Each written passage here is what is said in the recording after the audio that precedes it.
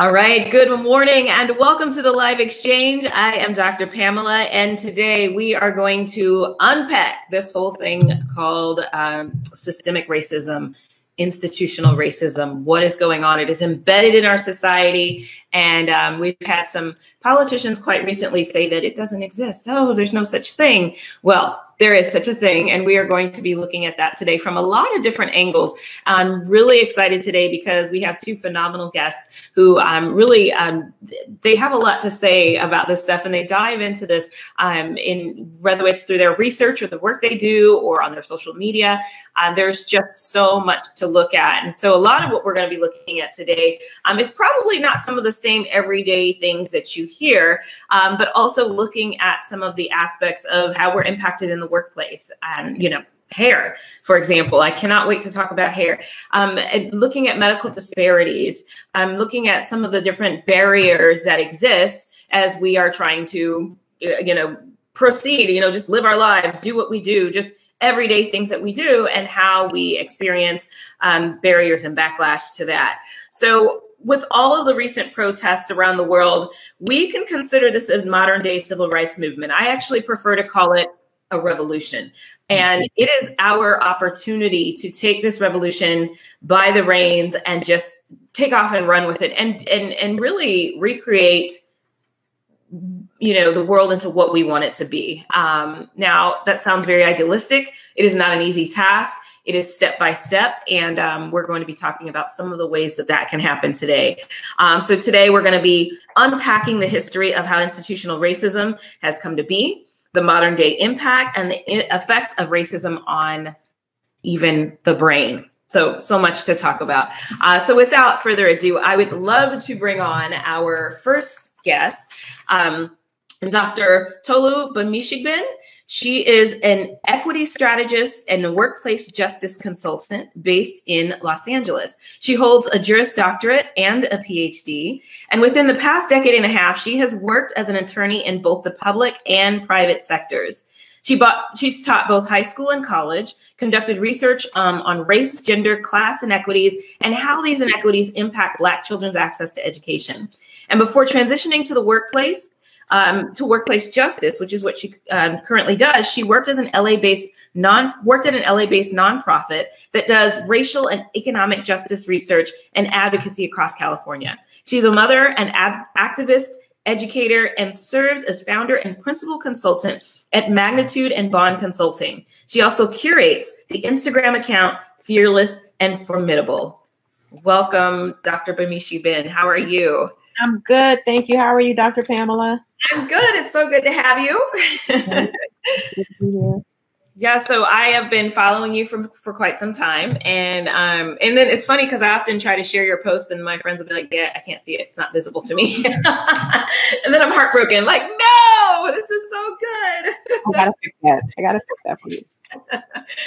so um, I, I, would just love to hear in your own words. You know, I gave your formal bio just now, um, but in your own words, um, you know, can you talk a little bit about the journey to where you are today? I don't think I've ever, you know, really heard, um, you know, you know, somebody who is an equity strategist and workplace justice consultant, and it just there's so much there, and I would love to hear, you know, your take on on what how you got there and what that is.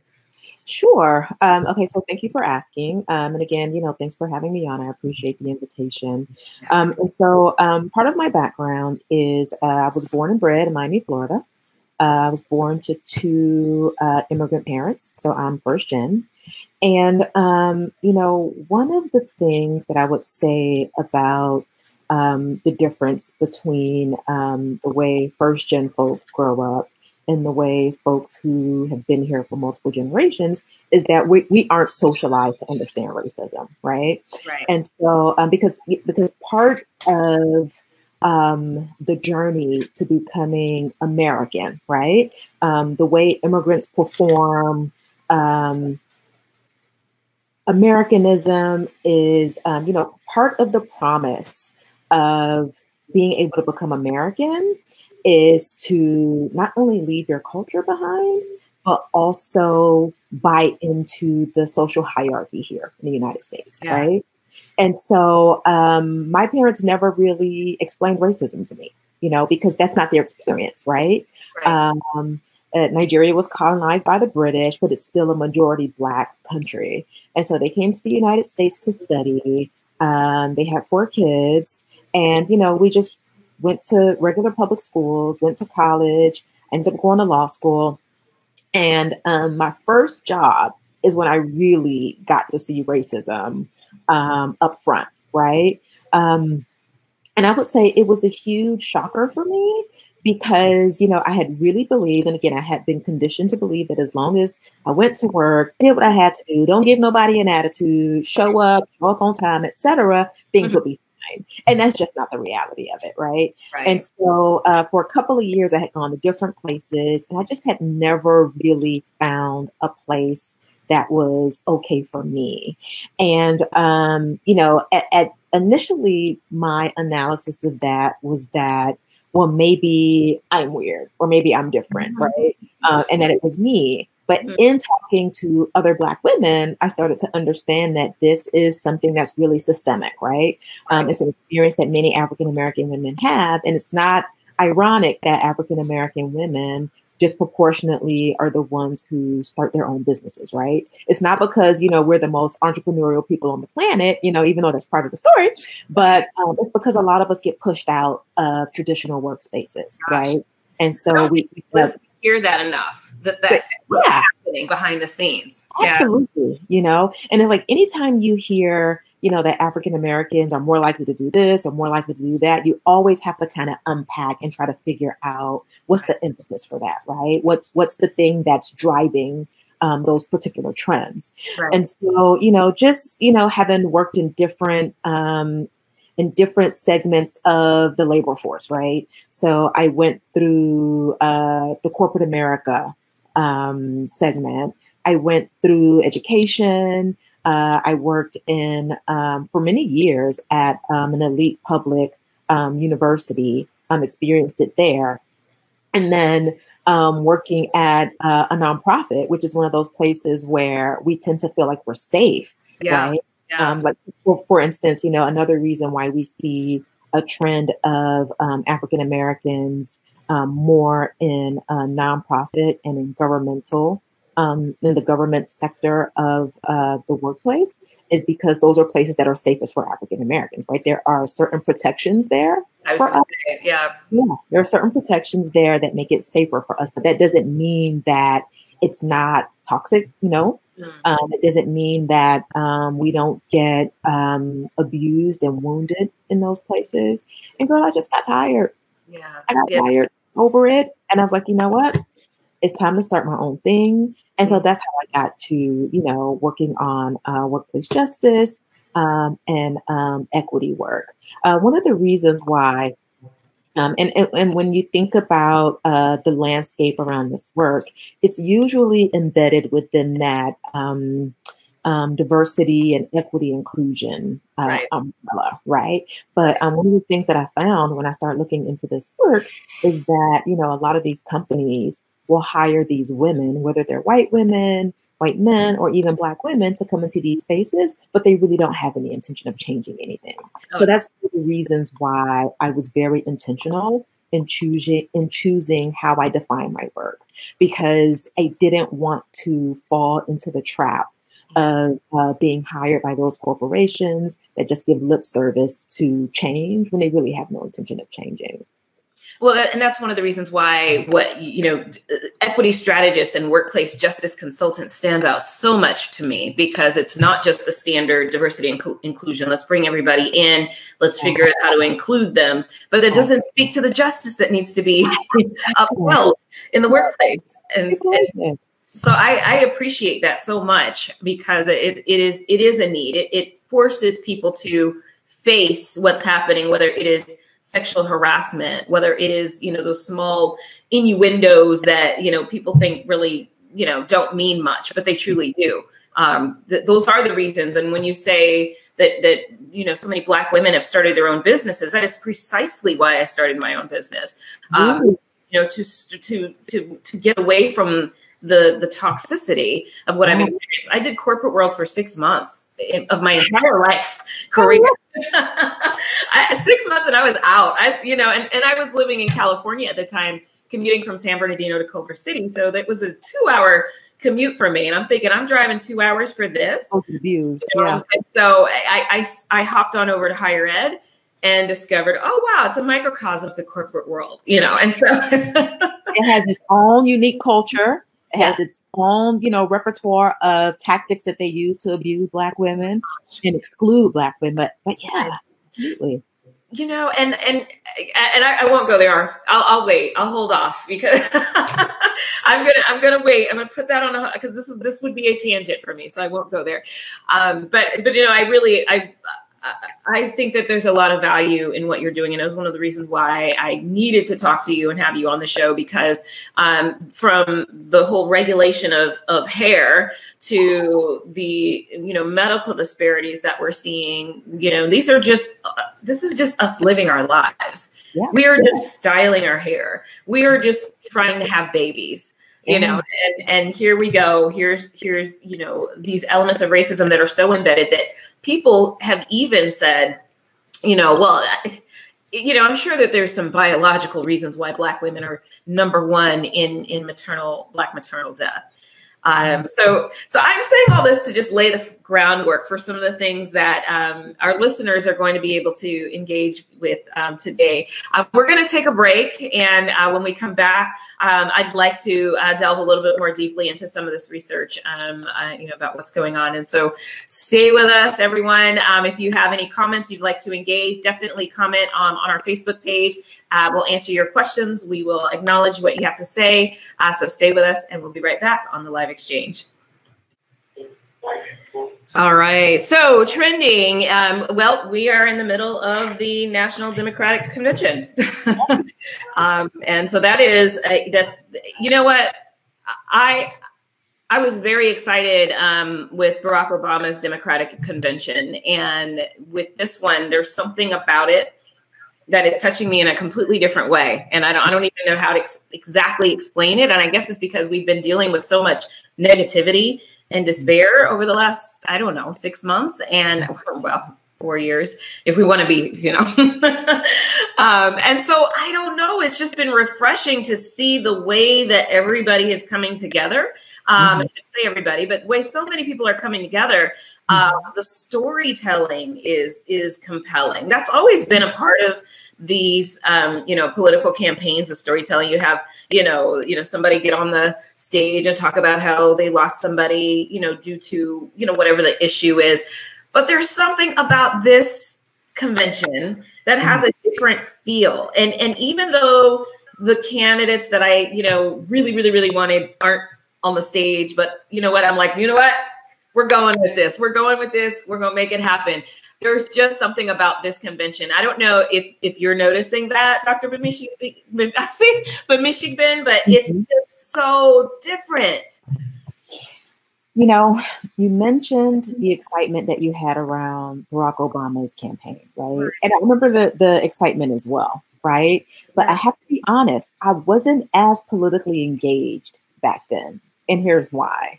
Um, I, I think um, a big chunk of what a lot of you know the more radical young folks, and I and I really do put myself into that camp, right, of, of radical folks. I think part of the thing that sometimes um, they miss, and and, and, and I, and I want to be careful in my word choice here because I don't want to ever uh, suggest that they don't know what they're doing or they don't know what they're talking about, right? But I think um, sometimes you know, in our rage, right, which we have a, a complete right to feel, um, we fail to see the bigger picture, right? And, you know, one of the things that I've um, come to learn over the years is that, you know, when we think about this path to freedom, we have to think of freedom and this this vehicle, this journey to freedom as like this multi-dimensional apparatus, right?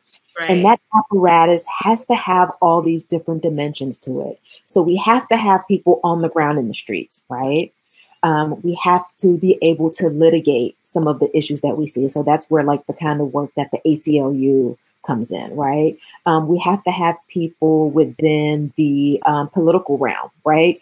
And so around the time that Barack Obama was running for president, I was excited about him because I was excited about the symbolism of having a black president and, you know, the representation and, you know, really looking forward to seeing policies that were tailored for us. But I wasn't that politically engaged. You know, like electoral politics wasn't for me at the time. We've right. gotten older, right? Becoming a mom, you know, as we get older, they say we tend to get uh, more conservative because the stakes are higher, right? We right. become parents, we buy homes, all those things, and we start thinking about all these different ways that these different systems impact us, right? Yeah. Right. And so to speak to the storytelling um, because I watched the DNC last night, um, and um, you know Kamala Harris is she's she's she's tough, right?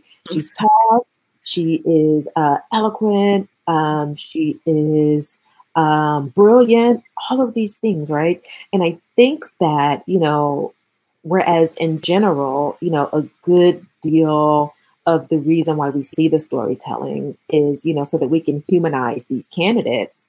Um, but um, I think we have come to know uh, Senator Harris in a certain kind of way, right? This tough cookie, the smart woman, the one who who drills um, folks who come into uh, these Senate hearings, right? So to be able to see her in the context of a mom, a stepmom, an aunt, a godmother. Yeah. That was really um, important, I think, for Americans to see. I think also um, when we think about some of the dominant narratives we have around Black women, I think being able to help folks shape. Um, to, to help shape people's understanding of who she is as a whole person. Right. I think is really, really important. And so, because, you know, a lot of times people just feel really disconnected from us as people because they think that we're different people and we, you know, put our, how do they say, put our pants on one, uh, one at a time, like everybody else, right? Right. So, yeah. Well, you know, and it's interesting because I, I know just from following your page that there was a time where you were like, heck no to Biden, you know, and, and, you know, and I know that that's, you know, now we're, and there are some people, so here's, I think there's two camps if we want to just kind of, there's some that's that, you know, who are like, heck no to Biden, and I'm going to stay true to that. And I'm going to, you know, I don't care what anybody else says, whatever, you know, Trump, Biden, same thing. And then there's mm-hmm. others um, like yourself, like myself, who have said, this is who we've got, and we're going to make it work. So I would, I would love to hear you speak to that a little bit. Okay, so um, it definitely took me a moment to get to the space where I came to understand how important it was to go ahead and go with who the ticket is, right? Uh, there's a sister who also um, does uh, workplace justice work. Her name is um, uh, Ife. God, I can't think of her last name, but she posted something the other day saying, This is the ticket. I know this is not who you wanted, but this is the ticket. Right. I know this, you know, you have your reservations, but this is the ticket. And mm-hmm. so that's my attitude right now, right? This is the ticket.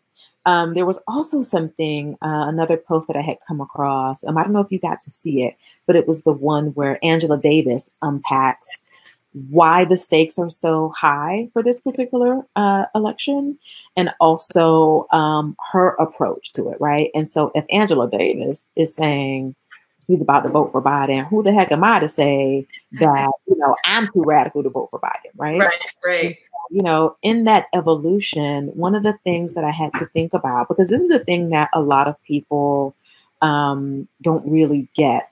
Um, besides the uh, enormous number of deaths due to uh, Trump's malfeasance in office, so basically, um, the way we got hit by coronavirus, um, a lot of the stuff that we've been experiencing since Trump's election have been things that we've been experiencing before Trump's election. And that's what a lot of people don't appreciate, right? That yeah. things have been bad for Black people forever, right?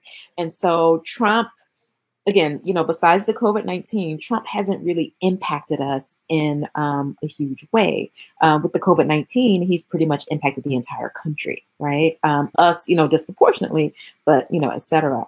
And so being able to step back and look at how other groups would benefit from a Biden ticket, right? And right. so one of the things that was huge for me huge for me is, and again, you know, as a first gen um, American, someone whose parents were immigrants, I think about the way migrants have been treated during this um, during this uh, administration. And yeah. even though you know a lot of people will argue that um, even before uh, Trump got into office, you know, we saw um, huge numbers of deportations under Obama and et cetera. But the, the level of cruelty in this administration is just so, uh, what's the word I'm looking for, repugnant for yeah. me. Yeah. That, you know, I'm voting for kids in cages, right? right? I'm voting for a lot of different issues. But that was the thing that really made me go, you know what? Biden is not my guy. Liz Warren was my guy. You know, Biden is not my guy. But Liz Warren too. yeah, but we have to get this guy out of office, and whatever it takes, you know, whether it's marching in the streets, whether it's electoral politics, etc., we have to do what we have to do and show up. Absolutely, absolutely. Well, I hope people hear that loud and clear because um, we we have a lot of people who are who are dead set on, you know, she's not black, she's this, she's that, and um, more even more focused on her than she is on Biden, which is really really, really interesting. You know, um, so with that said, we still have much more to cover. So uh, we'll we're going on a break. We will be back. Uh, definitely uh, let us know if you have any questions, comments. We would love to hear what you have to say. Stay with us on the live exchange. In the interest of science, science, science, science, science, science, science.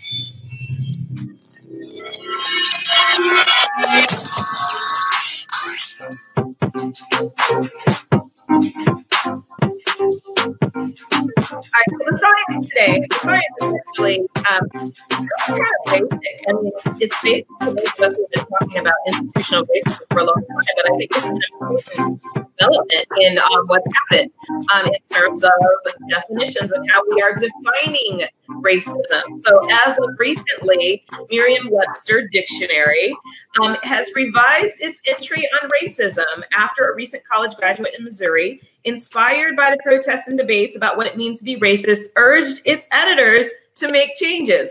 I did not know this was a new thing. I didn't know that the Webster Dictionary is just catching up. So they have revised it to say that racism is not only prejudice against a certain race due to the color of a person's skin, as it states in um, the dictionary, it is both prejudice combined with social and institutional power. It is a system of advantage based on skin color. It makes me wonder what did it say before? Probably just prejudice and uh, you know the overt types of you know racism that people experience, but you know being able to embrace and admit and acknowledge that is systemic, right? That is baked into the way our society works. You know, people who benefit from it, you know, are not likely to define it as such. Right. So. this is true. Don't see it, don't experience it. Just it's just, you know, yes. So I I actually was quite surprised to learn that. Um, mm-hmm. so yeah. So this is Oh, and not, also college student, she's a black woman. I'm sorry, say that again.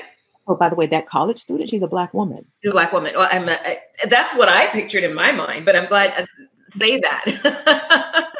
yes, absolutely. Um, and and so, and one of the things that I find one, you know, especially challenging when I am teaching racism in different courses that I have, um, it's is is that embracing of the power part of it because mm-hmm. um, you know a lot of people like you said they just they define it as you don't like somebody, you discriminate against somebody, you're prejudiced against somebody. Um, you know, we've seen the posts going around recently about what about Cannon? I don't know if you're familiar with that case where a, a child was shot um, in the head by a black man, and the the, the outcry from mm-hmm. some members of the white community was, "Where's all the protests? Where's all the rage about this this little boy that got shot?" Well, this is a perfect example of privilege and um, some of the systemic um, underpinnings of, of our society. This this man who shot the, the little boy was immediately arrested mm-hmm. and charged, and you know, and so that so that that is exactly the point. Is that we are still waiting for Breonna Taylor's murderers to be arrested. And that is why we're protesting. That is why we are raising hell because we are so tired of people sitting and eh, you know and and continuing their lives after somebody in the black community the latino community the native american community has has been brutally uh, senselessly murdered. When, when it's not even questionable yeah. whether or not it's a murder you know look at how long it took for ahmaud arbery's killers to even be brought forth that was only after social media mm-hmm. was exposed to what happened mm-hmm. you know i think you know, the people who start hollering, you know, where's the outrage? And, the, you know, I think they um, willfully want to misunderstand, you know, the issue. Um, you know, first of all, cross racial uh, violence is rare. Um, it doesn't happen at, you know, any large scale, but often when it does happen, disproportionately, um, when we talk about uh, police brutality, African Americans and Latinx folks are people who are disproportionately victims of that, right? And so the fight is not just about, oh, you know, we were victims of violence, but it's also about holding someone accountable for it. That's the fight right there. And so the idea that these folks are like, well, you know, well, what about this dude? Well, what about him? You know, it's tragic what happened to this young boy, but his family received justice. Our families don't get the justice. That's where the fight is. Right. Exactly, exactly. There, you know, it's interesting. Um, there's a post on your page, um, which I, I, actually intended to have it up and and ready, but I'm gonna so I'm gonna try to paraphrase what it says. You may remember the one that I'm referring to, uh, but it's the one that says, you know, all of this. Um, you know, pushing for social justice and the protesting um, is really going to, you know, the, the idea is to dismantle society as we know it. Y'all ready for that? I'm ready for that. Can you please speak to that? Because that's huge. I mean, it's so, you know, we're protesting, we want change, we want change, but do we do we really know, you know, what this means? Mm-hmm. You know, I, I, think that is a really big conversation to have. And I think that um, for folks who are on, you know, as they say, who wake up on the other side of capitalism every day, I know they're ready. I know they're ready for the revolution, right? right because right. they're the ones who have um uh how would I put it? They're the ones who suffer daily, right? From this system that uh these, you know, white men who came over from Europe have created, right? Um, but you know, for the rest of us who, you know, get to uh leverage our middle classness by uh purchasing homes, uh, being able to work in somewhat uh, comfortable environment, right? We don't have to do the kind of backbreaking labor that uh, folks from previous generations have done. Some of us have gotten comfortable, right? And I think that there's a fear, and I think it's a, a valid fear that that uh, comfort uh, would lead to a certain level of complacency that will cause even folks like us, right? Who, you know, we might not wake up on the other side of capitalism every day, but we do wake up on the other side of racism. Oh, yeah. uh, that will make us, you know, a little bit hesitant to engage the revolution, right? And so I think there's a little bit of um, uh, class warfare embedded in that post right there, right? Like those of y'all who are comfortable, who have the nice things, who drive a Mercedes, who have a house, whose mm. kids are in the good schools, are y'all ready for the revolution? Sure. Because of you know, getting to the other side of this might mean that we have to give some stuff up, right? So right. are you ready to give your stuff up? Right.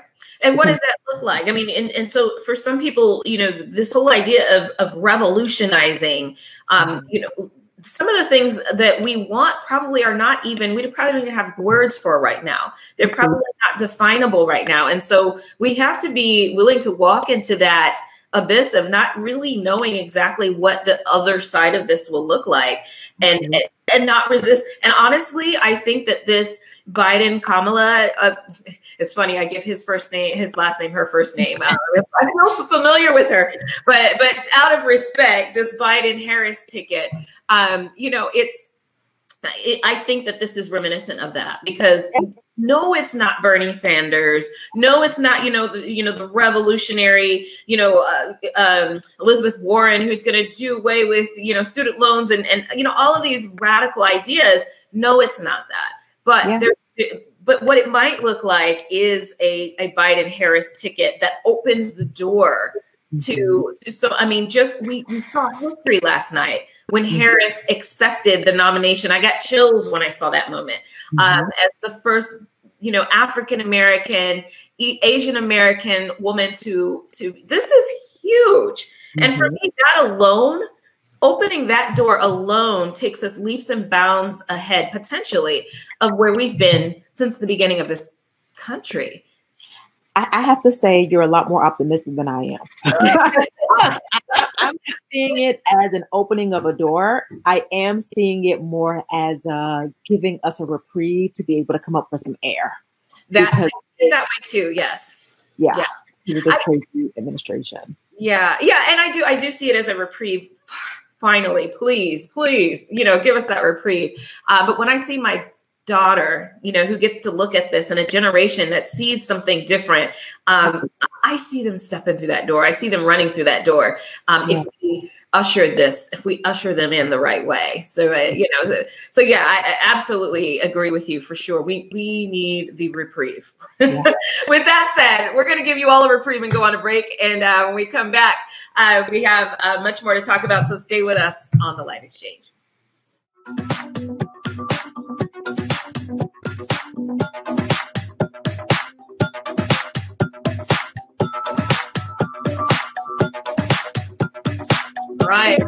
the Live Exchange. I'm Dr. Pamela, and I am joined by Dr. Bamishigbin, we are talking about uh, institutional systemic racism. Um, one of the things that um, I really wanted to make sure we got into before we left is um, an area that's actually um, near and dear to my heart. I, I'm, I'm actually working on developing a research study um, around Black women and really what what's happening with that. I'm looking at it from a relational standpoint in terms of how um, Black women and their doctors engage and interact with each other. Um, here in the state of Georgia, we are listed as as the high, as having the highest um, rate of maternal Black death. And it's interesting because when I've spoken to people about this, the first thing they go to is, well, you know, you've got these single poor Black women having children and they're not taking care of themselves, and and this really is not you know what what's causing this i would love to hear your your take uh, because i know that you've also taken this issue to task as well um, on social media Absolutely. Um, so, you know, the idea that a white woman with a high school education or less has better birthing outcomes than a black woman with an advanced degree should already be a sign, right? That you know that there's something in the system, right? Something in the water that's impacting us differently. So it's not only um, our relationship with the healthcare system, but just the impact that racism has on our lives, right? Yeah. And so uh, the the weathering of the body, which which is what they call it, weathering is part of why we end up having these elevated uh, issues when it comes to maternal health, um, because you know it it, it uh, impacts our ability to have successful pregnancies, and then you add uh, access to adequate health care into the mix, right? And then you add um, bias by medical providers into the mix. And then you add all these other different factors. And so um, basically, we're getting hit from multiple different directions. right And so, um, for me personally, I have um, I'm someone who's been impacted um, by this. Uh, I am um, a mother of one. Um, I've been pregnant three times, and I only have one child. Right? Um, I lost uh, twin baby girls um, midway through uh, that pregnancy, um, and a good deal of it um, I would probably attribute to um, a medical provider who wasn't really listening to Yeah. me and my concerns. Even you know, with my daughter, um, I ended up going into labor with her at uh, about 26 weeks or so. And you know, I went in for my um, checkup at about 28 weeks. I had to beg the doctor to take a look, right, to do an ultrasound and make sure that she was okay in there because of you know my fibroids. And you know, one of the things about fibroids is that the same hormones which help the baby grow also grow the fibroids. And so I had to beg her. I was like, please, you know, would you look and make sure that everything's okay down there? And um, you know, if I hadn't insisted, I would have walked out of there. And so, um, you know, she said to me that it was a good thing that um, she checked. Um, she rolled me into labor and delivery, and she said that if you would have left this hospital today, you would have been having your baby on the kitchen floor. Oh my gosh. And, and I'm a woman with a law degree and a PhD. Okay, I have access. You know, I, And Yeah. that's the thing. one of the best hospitals in the country. Right. And, what we're seeing is that a lot of the um, the black women who are experiencing this are, you know, they have access. And you know, one- one of the women here in Atlanta worked for the CDC. Um, and, and so she's fully aware of of you know what's going on health wise. But that's that is exactly what what I heard you say that um, they're not women are we're not being believed, we're not being listened to. Um, that has directly resulted in bleeding out and Yes. other causes of death that are completely avoidable. Oh God, you know, at the time I was only worried about the health of my daughter. It wasn't until my second pregnancy, which was also a high risk pregnancy, that um, it had finally dawned on me because my father had said something to me about it. I hadn't even been worrying about my own health.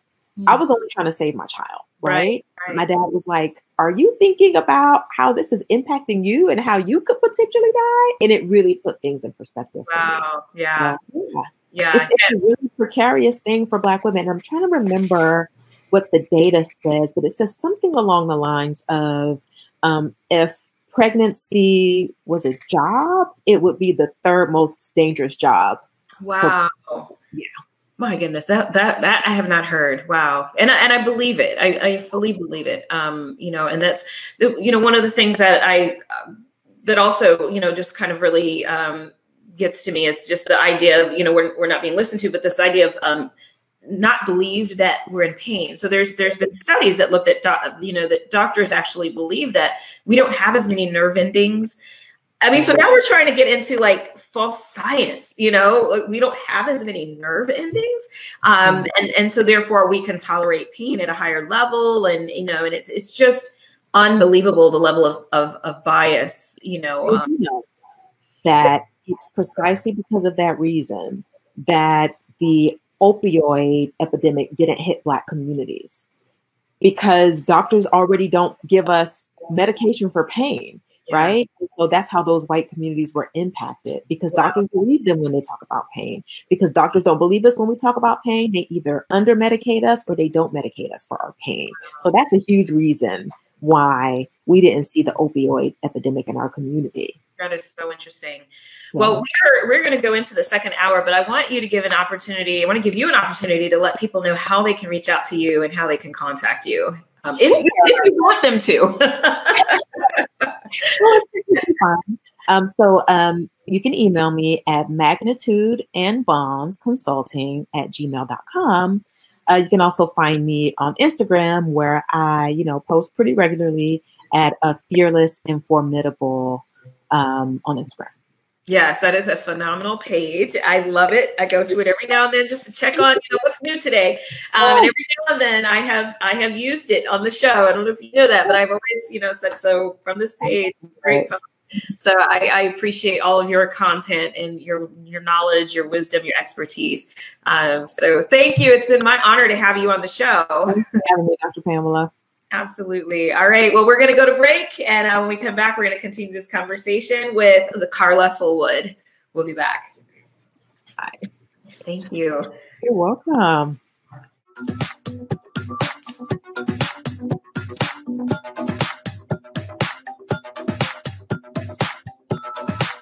Hello and welcome to the second hour of the live exchange. I am Dr. Pamela, and today we are looking at systemic racism and getting an idea of what does this look like, how does this play out, and what is it that we can do uh, to address it. So this hour we are going to have Carla Fullwood on, who will help me uh, with the dialogue. And uh, first hour was phenomenal with Dr. Tolu Bashir. Um, oh gosh, I, I, I have, I'm mispronouncing her word, her name right now. Um, but yes, um, uh, we we had a phenomenal conversation in hour one, and I am ready um, for hour two as well. And so. uh, Are we are we ready to bring Carla on? If we are ready to bring Carla on, there you are. Hey, so hello, hello. Thank you so much for joining us. Thanks So- for having me, Pam. Absolutely. So um, I just would love to give you all a little bit about who Carla is. So Carla Fullwood is a dynamic higher education professional with about 15 years of experience in student development, diversity, equity, and inclusion and educate inclusion education and training. Her areas of expertise include designing and facilitating intergroup dialogues and professional development opportunities focused on social justice education, racial equity, and intercultural competence. Carla is a proud wife, daughter, sibling, educator, member of Zeta Phi Beta Sorority Incorporated, and member of hashtag the Beehive. Carla is currently a PhD candidate in the Educational Leadership and Cultural Foundations program at UNC Greensboro, with research interests in Black women administrators in higher education.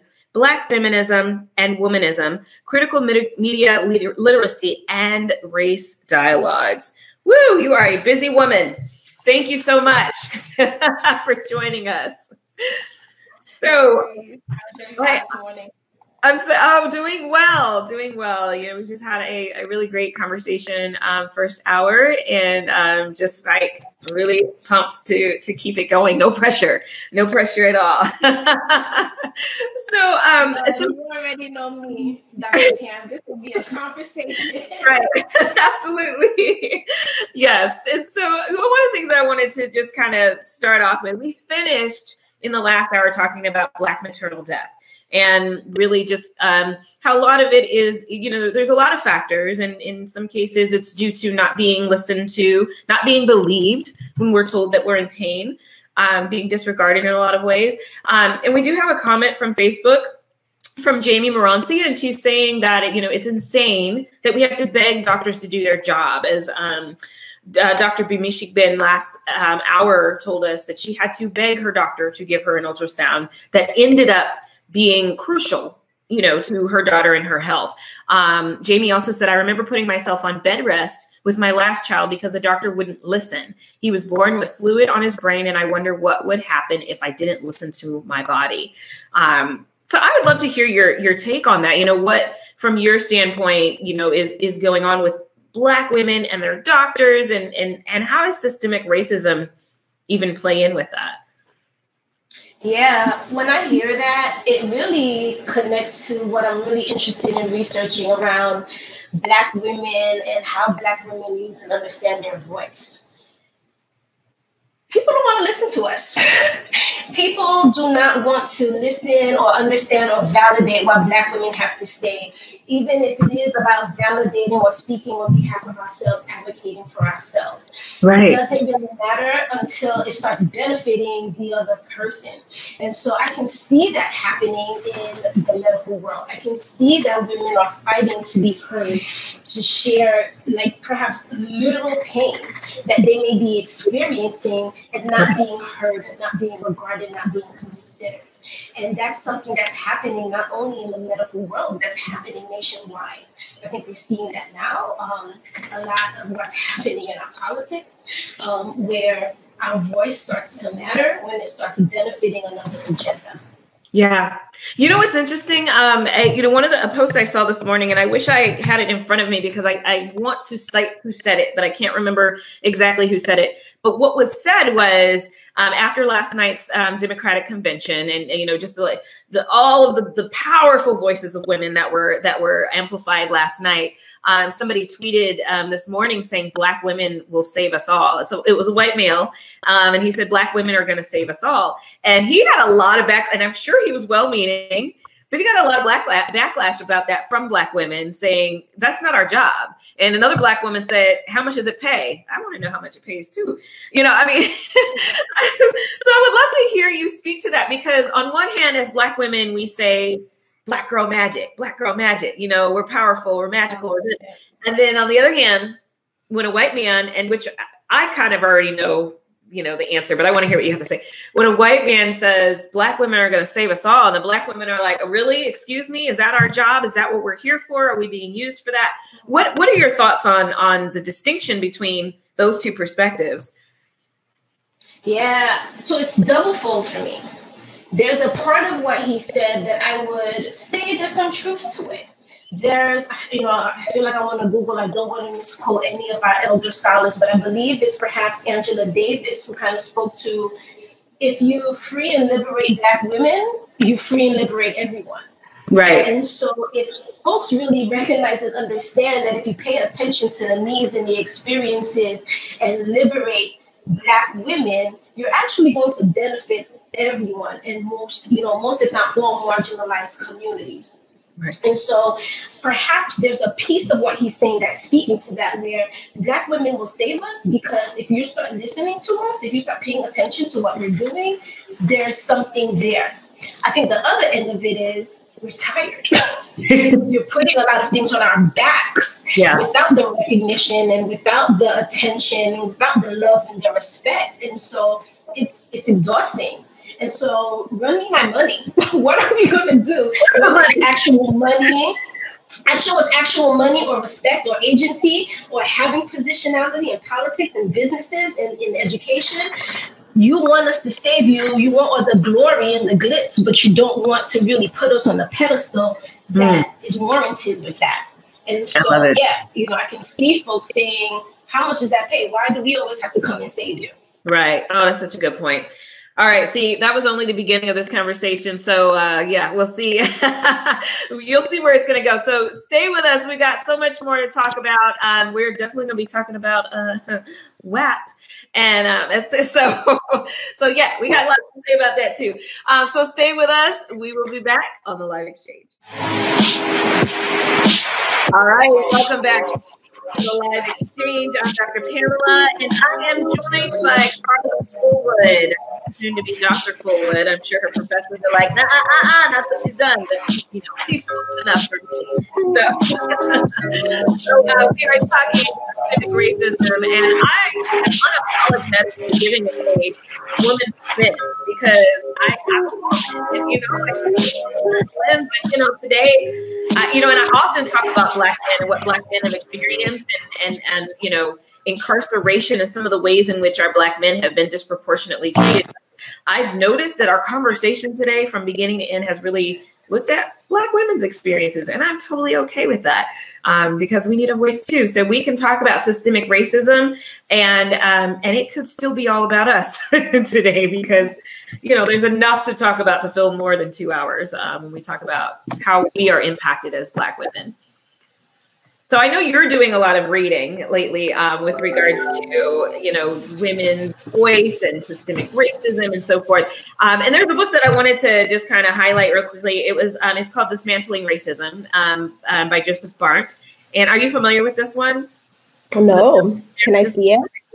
Yeah, I don't have it with me. Um, but it is it, it's so the book is not intended to attack or to produce guilt because you know a lot of times this is one of the reasons why people push back from conversations about racism, uh, but its message is still tough and demanding. And so it begins by analyzing racism as it is today and the ways it's changed or not changed over the past few decades. Um, most importantly, the book focuses on the task of dismantling racism and how we can work to bring it to an end and build a racially just, multicultural, um, and multiracial society. Now, traditionally, churches are not strangers to the task of combating racism, um, but so much of what has been done is too little.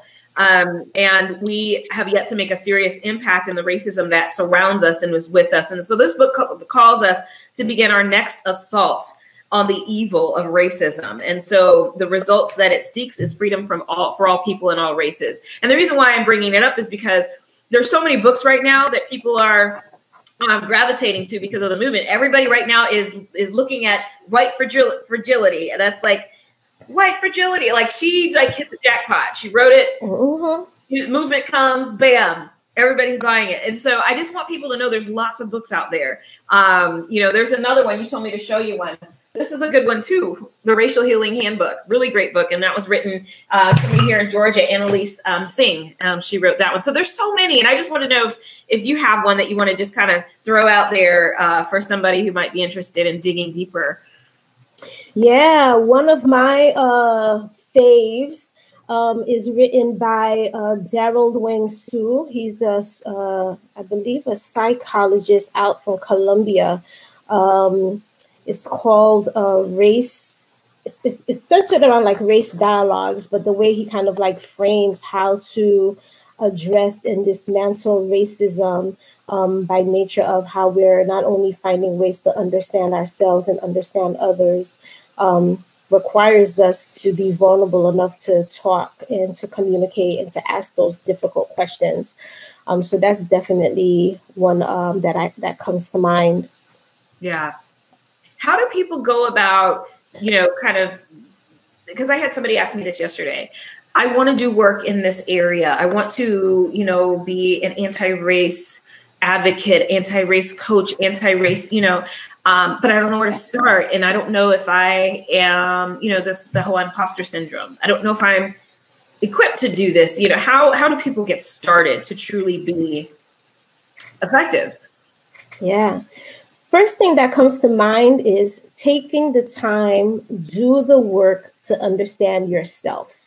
Yeah. Right now, just as you said, right now everyone wants to go into action mode and you know not not to squelch that but then also folks are going into action mode without being informed and most importantly without being informed about who they are right how are you understanding yourself and your racial identities and that goes for racially marginalized people as well as white folks mm-hmm. how are you understanding how you came to understand race how you came to understand yourself how you're coming to understand power dynamics around race and racism and how you perhaps played into it or are trying to resist it, trying to understand what it looks like, what it means. I loved how you said like racism continues to morph.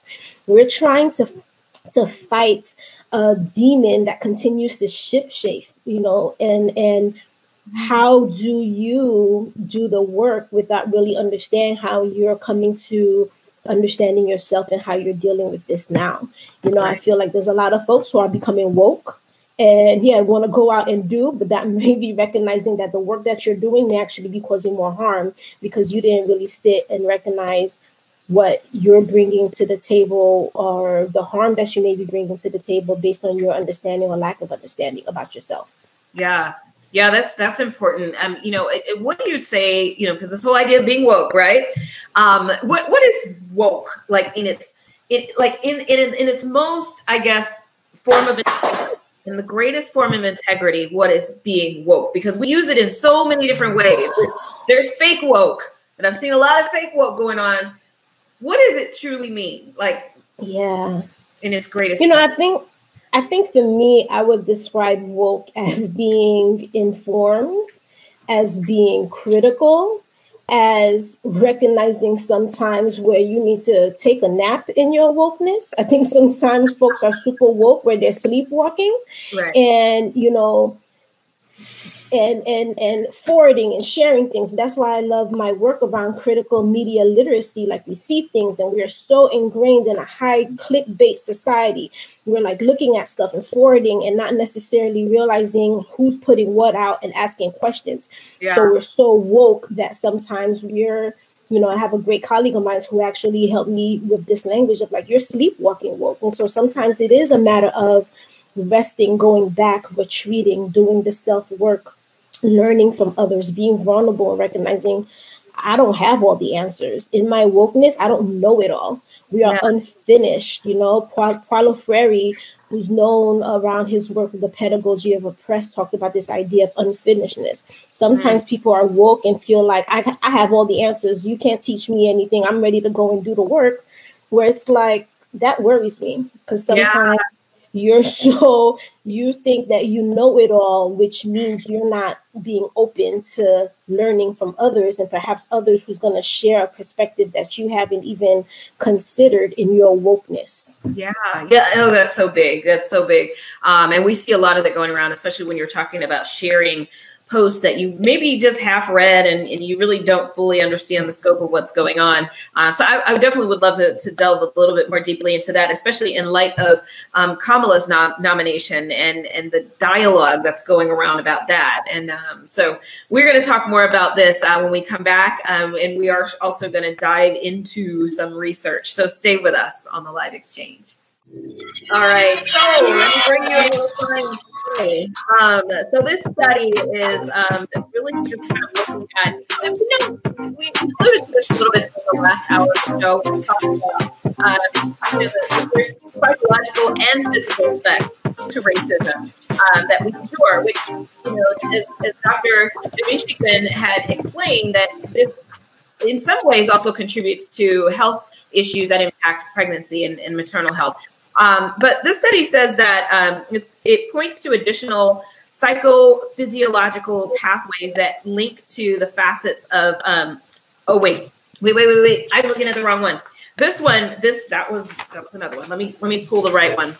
Well, the, the other one is really talking about the ways in which our um, um, our bodies are impacted by racism, um, by the ways in which our bodies are, um, you know, uh, physically we, we experience um, trauma to our bodies, but then biologically speaking, we have different health issues. So, um, and actually, this was the correct one, but it's the alternative pathways emphasize um, prenatal experiences, so how that impacts us um, before, during, and after pregnancy.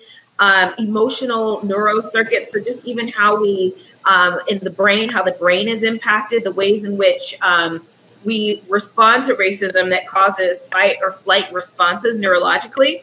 Um, um, minds, you know, mindset thinking, um, and then negative um, affective states stemming from racial cognitive schemata. So just the things that we think um, affect us socially. You know, a lot of times people stop at the social impacts of racism, but they don't really get into the disparities that are caused by health issues, that are caused by cognitive, um, I'm, I'm, sorry, neurological um, impacts, how that affects our brain. There's plenty of research out there um, that talks about, um, you know, even just sort of the DNA um, that's passed on um, for people who've experienced oppression and what that does to us, you know, biologically. And what I also found was quite interesting is that the DNA is also passed on for, for, by the oppressors. So they have a certain strand of DNA that's going on down their family lines as well. And so you've got that going on at the same time that you've got the impact of those of us who have,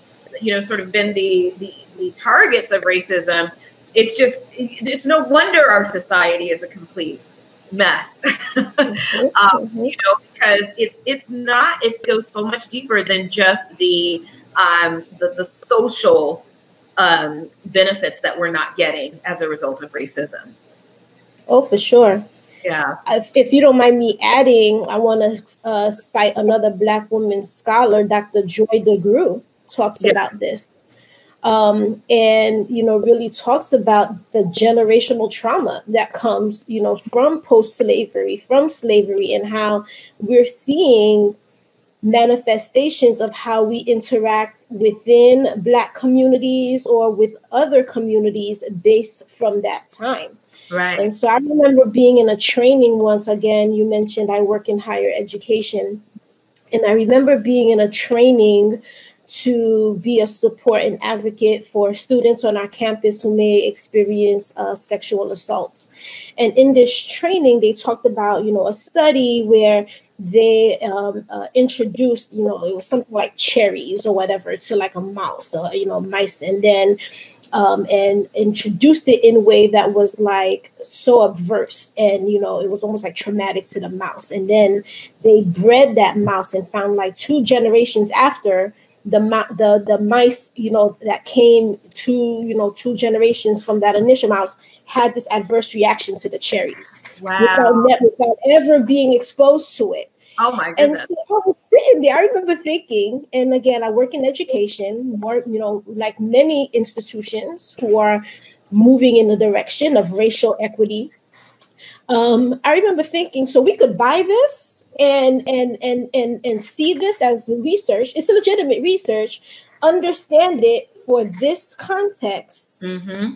not see the same connection to racial trauma it's my like, like, like why why yeah. wouldn't it and knowing that you know uh it's you know in slavery ending was you know may, maybe like three maybe four generations ago not really long right? And then if you think about the civil rights movement not not far. Not these are not things that happened millennia ago. These are things that people are still experiencing through that generational pass down.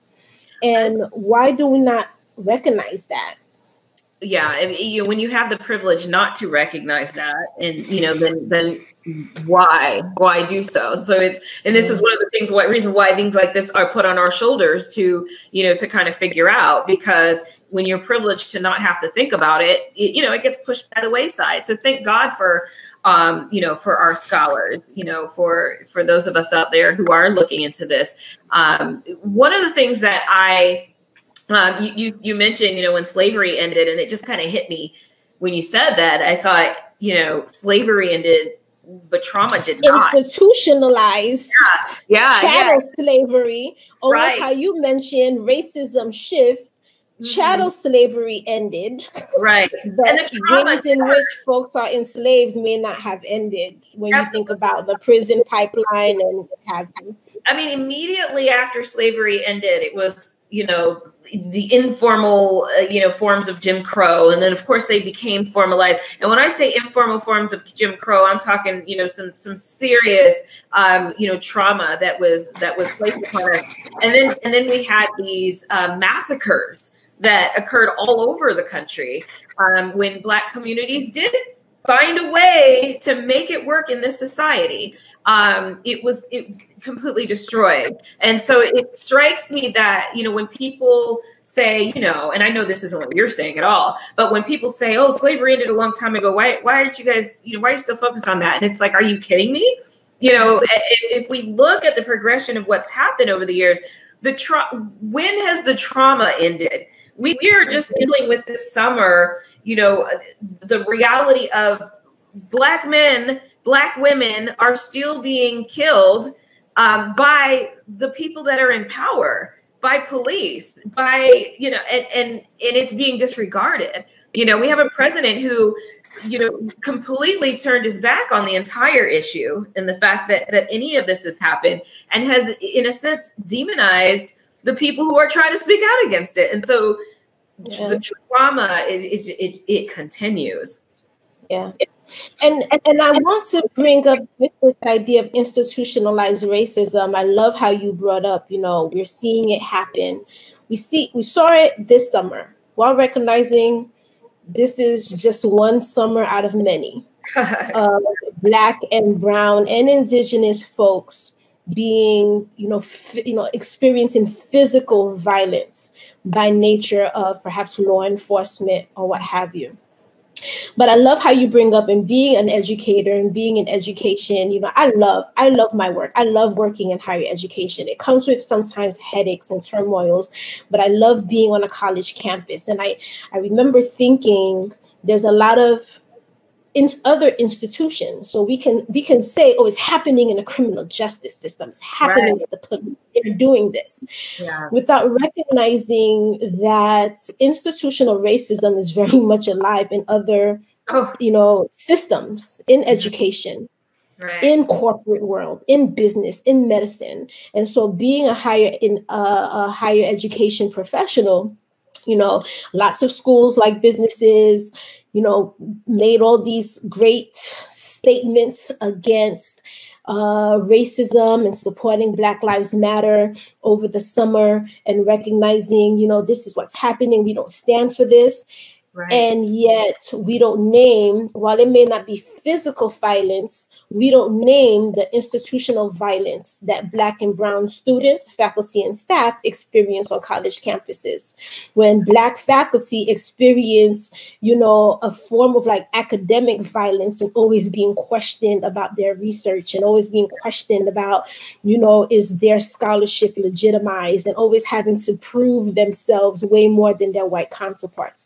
Staff and administrators and students experiencing a form of trauma in their everyday ongoings. I remember working on a college campus, and you know, you're familiar with this, Dr. Pam, where students navigating college campuses have to wear backpacks and always be conscious in wearing university t-shirts to not be to hopefully not be stopped by police and or other faculty and staff about right. do you are you a student here do you go here like we yeah. don't recognize this is not just happening in random you know neighborhoods and police it's it's happening in other institutions it just looks different it's not somebody having a knee pressed on their neck physically but there's like the metaphorically pressures and the metaphorical violence that's happening and how i have to justify my existence yeah. in you know the school and like you even said with the medical how black women have to justify their needs yeah. to get their needs met and to not die well, and to your point about, you know, it's not a knee in the neck. Um, there's a term that you and I have discussed before called spirit murdering, and that's that's exactly what it is. It's that idea that um, yeah, you don't have your knee on my neck in a in a physical sense. It's certainly on my neck in a metaphorical sense.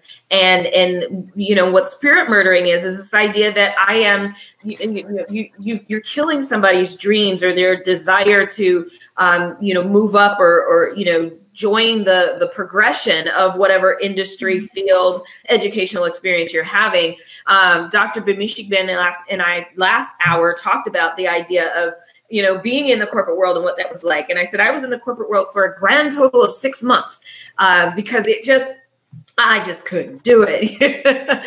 um, and so, yes, these things do happen. And I was going to ask you, you know, what does it look like? And you articulated that beautifully, exactly what it looks like um, in, a, in a higher education, you know, setting. And so you're absolutely right. We experience it in, in all kinds of different sectors. Um, so, with that said, uh, we're going to go ahead and take another break. Definitely reach out, comment um, ask questions. We want to engage with you. We would love to know uh, some of your experiences and your point of view. Uh, we are on Facebook Live on the Sensation Station Network uh, Facebook page. Uh, so join the conversation. We will be back.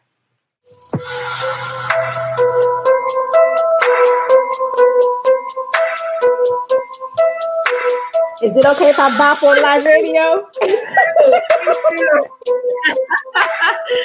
right. So welcome back to Live Exchange. We're talking about systemic racism. Uh, but we're going to segue a little bit and um, talk about because Cardi B has made a couple of appearance, appearances recently, and so we first was this this this lovely artistic video, um, and I can only give the acronym on the show WAP also known as WAP, you know, like, you know, so y'all gonna have to look it up. Um, um, mom, you're gonna have to look it up. You have to look it up. but she also spoke with uh, um, uh, Joe Biden um, earlier this week, and I want to share a clip from that interview. Gonna have free Medicare because look, look, look what's happening right now. You see why we should have been have free Medicare for a long time. I think it's. I of course think that we it? need a free college education. That's second, and I want black people to stop getting killed and no justice for it. I'm tired of it. I'm tired of it. I just want more stricter laws that is fair to black citizens. And you know, it's fair for cops too. If you kill somebody that is that doesn't have a weapon on them, you go to jail. You know what? If I kill somebody, I gotta go to jail. You gotta go to jail too. All right. Okay. All right. We're back. So, uh, you know, I, I, heard part of it, but I kind of, um, so, so I'm going to rely on you a little bit on this one, Carla, because uh, I wasn't able to hear the whole thing. But um, it, it's it's that idea. I, I did hear the part about, you know, and of course I've listened to it earlier. But I go to jail. You got to go to jail too. Like, you know, where's the, you know, what's the stance here? But but it's interesting. She's speaking out on these things. I'd love to hear your thoughts. Listen, I'm a BeyHive member. I love Beyonce, but Cardi B has been rising as another one. You know, of I'm I'm I'm a fan um, for many different reasons. You know, I think the way she is unapologetic in being who she is, while still being very pointed in addressing some really relevant contemporary social issues, and she knows what she's talking about. Yeah. And so, you know, I feel like what she was saying was looking at what's happening right now and talking to the Democratic uh, presidential nominee, Joe Biden, looking at what's happening right now, here's here's some of the issues I want to see addressed. And she's talking about racial inequity. Um, she's she names it equality. I personally will give language to it as equity because even in how she's saying, hey, if I kill somebody, I'm gonna go to jail. These officers who are killing folks, um, they should go to jail too. At the very least, be charged. Right, Come right. in, at least be charged, right? Mm-hmm. Um, and, and seeing that there's in in an in an in an equitable inequitable approach to systems and more so than not is perhaps not only because they're officers but i'm going to say uh, their race and gender plays a, a role in that. And she's addressing that that's a that's a need. That is what black lives matter black people are calling for right now. Right. Address it yeah. Give us the justice you know that we deserve. Because if the shoe is on the other foot, as we see in past history, and again, looking at like the history of racism, we would automatically go to jail before even being charged, right. before even getting, you know, uh, uh, uh, uh, uh, in front of a judge to kind of figure out if we have like a formal charge or or or um, not even a conviction, uh, uh, conviction. I'm forgetting the word. Yeah, do the same across the board. Right, right, and that would be so. The, the whole do the same across the board. That's that's kind of what we would consider um, equality, right? Um, it, what would be an example of equity? You know, I think for me, equity would be in the case of black and brown people when they get, you know, charged on things. You know, do we get charged at the same well you know do we get charged at the same rate or do white counterparts get charged at the same rate mm-hmm. um, for the same things right. that we would so we are still seeing it's like a hundred and plus days breonna taylor's officers haven't even brought, been brought in front of anybody that's right. inequity. Whereas right. there was a recent incident, and this is where I don't have all of my facts, but I believe there was a recent incident where a black officer, I believe, you know, was found to um, to kill somebody, and it's it it doesn't it doesn't move fast enough to sometimes get black or brown officers charged and convicted. That's yeah. an inequitable element. Absolutely, absolutely. And then when you consider, um, you, you know, perhaps the types of lawyers that that Black people or people of color may have access to and have representing them um, when, within a system of racism versus the lawyers and the teams that you know other people may have, it's it's you know that's something that is going to impact the outcome you know of their For trial sure. Well. So there's there's there's a lot of factors with that. Um, one sure. of the things that i wanted to address because you are you, you do a lot of work on on women's voice black women's voice in particular. And i wanted you to speak to that voice of cardi b that voice. We'll put it well let's throw beyonce in here too. Um, because a lot of people like to discredit them as entertainers as women who might not be you know scholars with phds um, can, can, you speak to the value of their voices in this larger yeah. conversation? So, Black women, while we may have common experiences and perhaps uh, you know face some of the common challenges, we are not all the same. And I love how you even bring bring up that there's usually an acceptable voice or an acceptable way in which issues are presented that will allow for folks to receive it and hear it. Right. Well, guess what? Not everybody presents, communicates in that traditional, acceptable, and when I say acceptable, informed by white supremacy, white patriarchy way. Right. Right. But that doesn't mean that I don't have something to say. That doesn't mean what I have to say is not well informed. Um, and that doesn't mean what I have to say is not just as impactful and can contribute to uh, institutional change. And that's why I love Cardi B in that video clip, long nails and all, with her uh, and all, will bring up very yeah. legitimate points. And, uh, you know, let's bring up Beyonce, how folks say, like, oh, she doesn't speak well, she has that southern drawl, she doesn't sound articulate. Now, when we start doing that, and you know, I, I love, I love my identity. I love me, my black people, but sometimes black people be the ones saying the same things. Mm-hmm. They don't sound a certain way. They don't sound, they don't speak standard American English. But that does not mean that what they are saying is not just as legitimate right. or needs to be heard. And you know, don't sleep on Carly. She talks a Cardi. She talks a bit about she experienced. You know, she she experienced a college education. She mm-hmm. she loved history. She loved uh, so, uh, um, uh, social studies. She knows political history. Yeah. She's informed, but she does not perhaps speak in this proper way in which the mm-hmm. academy or newscasters or corporate America, right. you know, yeah. seems to want to hear. And exactly. that's the piece that I want to push back on. Yeah, and I and I appreciate that she doesn't speak that way because I, I love the diversity of voice um, that that exists out there. We want social justice and diversity with regards to skin color, but we can appreciate diversity um, with regards to how we express ourselves and our, our voice. Now, I have to ask a question. Uh, we're getting close to the end, but I can't not address this. Um, how you know she so she just put this video out, um, and it's very um, expressive. It's you know of, of their sexual. I like that word. very expressive.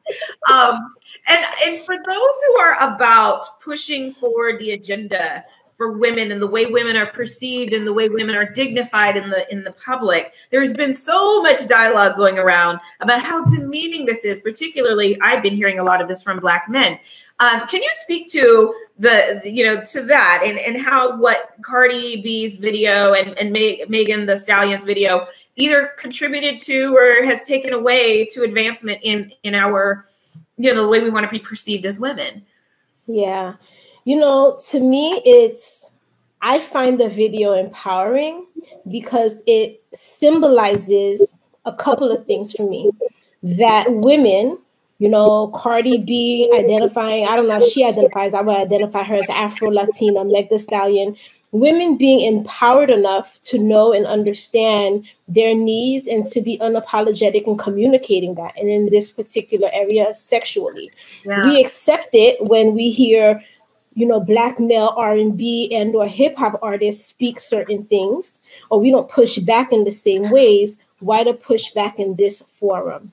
Right. And I would actually say it's connected to a form of institutional racism, kind of stemming back from slavery and some of the controlling images that informed how Black women perhaps sometimes see themselves and or are seen by, you know, by others. With, right. you know, one of the images, the idea of the Jezebel, that was something that was controlled. That if you were too promiscuous, if you were if you were too in tune it as being a sexual being, we are human beings. Yeah. That that you know folks have a range of in how they're experiencing their sexuality but as human beings there's some that is that's fine that very empowering why hate on that yeah. and the fact that they are expressing that they should have every right to you know right. Now, do they speak for everybody? No, but I don't think they claim to say that they're speaking for everyone. Right. But we often, we've, you know, when I say we most, folks, and even, you know, I would stretch to say most, you know, if some Black women have been taught to you don't talk about these things. You don't say this, these things. Right. It's too taboo. It's too promiscuous. You don't want to be perceived as fast or yeah. as a hoe or as certain things if you're talking about, you know, or if you want to express, you know, certain certain needs. You don't say that. You just you sometimes you just accept it. And I think it's revolutionary. I loved how you even said earlier this movement. I think you said it with the first panel, the first guest. This is a revolutionary moment. And part of that includes sexual identity, gender identity, politics. And if you know that's something to consider. Um, I, I love it. I love WAP. I love the video. You know, I think that it's something, it may not be for everybody, and that's okay because there is a range in how people experience sex and sexuality. But if that is what they are with their full choice and consent, you know, all those things need to go into it. Why? Why hate? And why hate on it and not bring and not call to task some, you know, some other artists um, in, in some of the same ways, particular, you know, male artists. Right. And Cardi B said, look, I've put other songs out that, that are much cleaner if we, you know, if we want to consider that dirty, uh, but that, that are that are much cleaner that that talk about other real life issues. And y'all weren't writing for that song. I don't I don't think that's nope. on the internet. So uh, so but this is the one you want to give attention to. So maybe y'all want to blame yourselves and you know what? Um, I, I I think that's pretty well said. Um, so I you know I have so much more that could be said about this because you're absolutely right. You hit it on the head that that this is a way of expressing um, this is who I am. This is a desire. This is a need. This is the way I do things. And um, it, you know, and we we I think that people respond the way that they do because it's it, it's they're afraid. It scares them. Yeah. You know. Yeah. What, what if I dared to think the same way? What if I dared to to do the same thing? Um, what would I be seen as? Um, so yeah. It, yeah. So I'm looking at the time like, oh, we have to wrap it up. No. but I do want to acknowledge so much to say. I know, I know. And I want to acknowledge a comment from Dwayne just uh, J- Dwayne Johnson really quickly. And it says that maybe it sounds strange, but the good part about being in a pandemic lockdown is that we're all home when we saw what happened to Mr. Floyd. And it's uh, and still with this exposure to this, the systemic genie only came halfway out of the bottle. Hmm. There needs to be an admittance of this form of our political leaders on high for this to begin to end. So, um, well said, um, Dwayne Johnson. So, I want to go ahead and just um, wrap it up, give you an opportunity to let uh, people know how to reach you if you want to be reached, um, where they can yeah. find social media. Yeah, so I'm I'm just starting to get some of my personal consulting and business up and off the ground. So the best way to contact me um, is real dope coach at gmail.com in front of in terms of email. Um, i'm starting to build social media content and website so look out. But for now gmail um, is the best way. Real r-e-a-l dope d-o-p-e Coach, C O A C H, all one word. Yes, I love it. I love it. Well, thank you so much for joining us. And I appreciate you all joining us for this really important conversation. And I hope that this is, um, if, if, if this is new to you, let, this is a starting point to continue it. For those of you who are very familiar with this, um, please continue with these conversations. They're so important. Um, next week, we are going to dive 100% into Black maternal death. So we're going to be able to continue that conversation we started today um, next week. So thank you so much for joining us. Um, this is the live exchange. I'm Dr. Pamela. And remember, we are here to right the wrongs, to speak the truth, to rise above, and to stand for change. We'll see you next week.